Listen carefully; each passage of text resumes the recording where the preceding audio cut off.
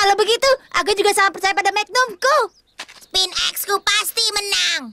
Kalau begitu mari kita coba. Ah.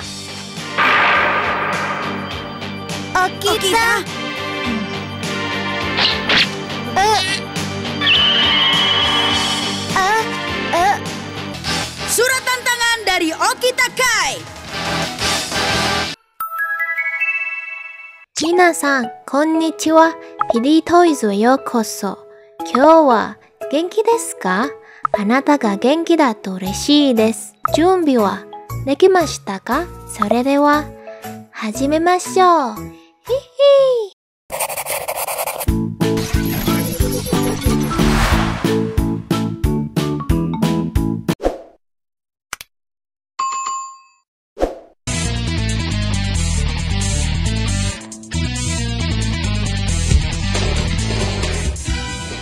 Di episode 22 lalu, Resu, Go, dan Tokichi bersama-sama mencari sosok pemilik mobil misterius. Kurosawa pun sempat dituduh sebagai pelakunya. Saat mereka berempat balapan, sosok pembalap mobil misterius tadi akhirnya muncul. Dengan sombong, Kai Okita memperkenalkan mobil penghancurnya, yaitu Big Spider.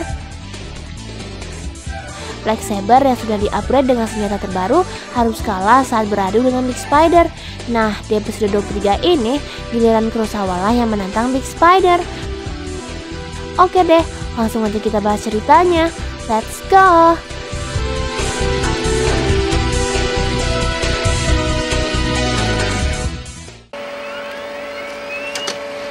Kalau dilihat dari goresannya pada mobil, orang itu pasti pintar sekali.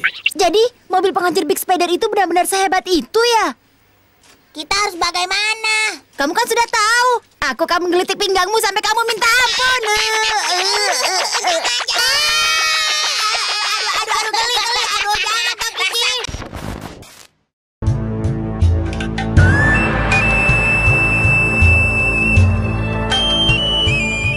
Sehabis diserang oleh Big Spider, Retsu, Go, dan Tokichi mampir dahulu ke toko Paman Sagami.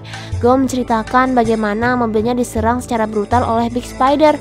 Paman Sagami yang terkejut langsung mengajak mereka bertiga untuk pergi ke tempat Profesor Tsuchiya. Malam itu juga. Meski Profesor Tsuchiya sudah melakukan analisis terhadap data Big Spider, tetapi masih saja belum diketahui siapa pemilik dan ciptanya. Tanpa diduga, ternyata Jay pernah melihat mobil mirip Big Spider di lab Profesor Ogami. Huh, dasar Profesor Ogami jelek. Hehe.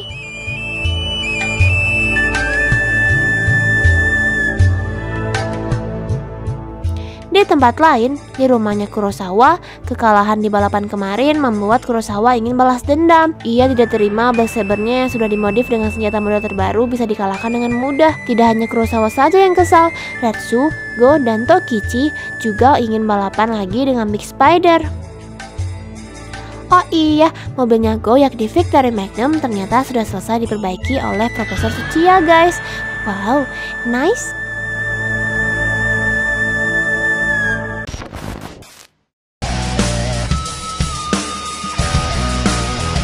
Lab Profesor Tsuchiya, dia menceritakan kepada Go dan yang lainnya soal Kai Okita dan mobilnya Big Spider. Ternyata memang benar, Big Spider adalah mobil ciptaan Profesor Ogami. Big Spider adalah mobil kedua ciptaan Profesor Ogami yang juga dilengkapi dengan senjata mematikan yakni pisau udara guys. Big Spider adalah tipe mobil yang sangat lincah dan cepat. Saat Go, Retsu, Tokichi, dan Kurosawa sedang berkumpul, tiba-tiba Kai Okita muncul dan menantang mereka berempat untuk balapan lagi di tempat yang sudah ditentukan oleh Kai. Nah, kebetulan banget nih, akhirnya mereka berempat segera mendatangi tempat tersebut.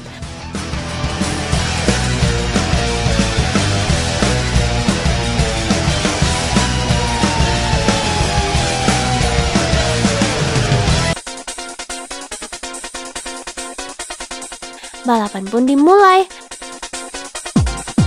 Kai Okita sengaja membiarkan mobil lawannya untuk maju duluan.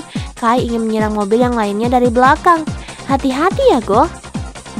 Di putaran pertama, Big Spider langsung menyerang Black Saber. Senjata pemotong Black Saber patah seketika, guys. Lalu mobil berikutnya yang diserang oleh Big Spider adalah Spin X. Walau sudah diserang, tetapi Spin X tetap bisa melaju. Di putaran berikutnya, Kai juga sudah memasang jebakan di arena lintasan. Karena jebakan itu, V Magnum dan V-Sonic jadi keluar lintasan. Tiba-tiba dari belakang, Black Saber kembali ke lintasan dengan senjata yang berbeda. Black Saber segera menyusul Big Spider yang berada di depan. Tetapi serangan Black Saber sama sekali tidak mempan terhadap Big Spider. Resu dan Go juga segera menyusul Black Saber dan mereka bertiga melaju bersama. Dengan begitu, Big Spider akan jadi kesulitan saat akan menyerang. Tetapi tidak diduga Big Spider melompat ke udara dan akan menyerang V-Magnum dan V-Sonic. Kurosawa yang melihat hal itu segera menolong Resu dan Go dengan mobilnya. Akhirnya V-Magnum dan V-Sonic jadi selamat deh. Alhamdulillah ya. Hihi.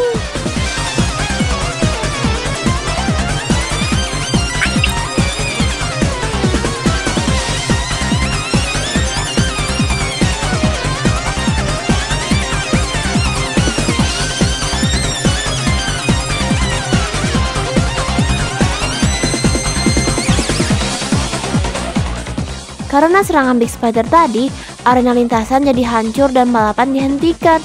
Walau Kurosawa tadinya berniat jahat dengan senjata penghancurnya, tetapi ia ternyata juga bisa menolong teman-temannya yang sedang dalam bahaya. Wow, Sugoi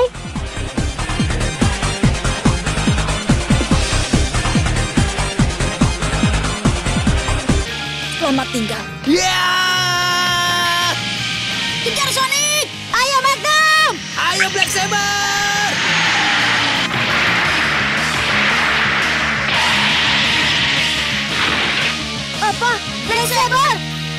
Bagaimana? Black Saberku sudah berbeda sekarang kan? Ha?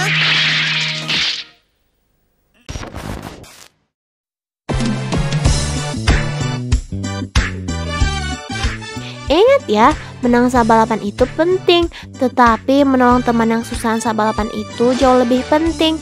Hehe. Oke deh, gimana? Seru kan ceritanya? Terima kasih sudah menonton video ini. Jangan lupa like, comment, dan subscribe. See you. Ja, mata